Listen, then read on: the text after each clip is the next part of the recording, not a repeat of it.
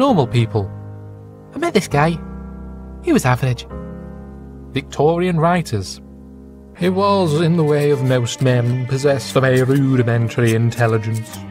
His countenance ordinary, his bearing mild, with some weakness about the shoulders, his hair the colour of ash. He spoke of the weather.